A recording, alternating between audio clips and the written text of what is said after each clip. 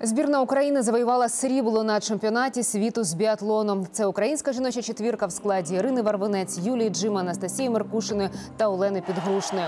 Найбільш запеклим виявився останній етап, на якому бігла капітан. Після останнього вогневого рубежу одразу п'ять команд претендували на медалі, і підгрушна завдяки потужному фінішу змогла випередити Францію та Чехію. Вперед українки пропустили лише Німеччину. На цій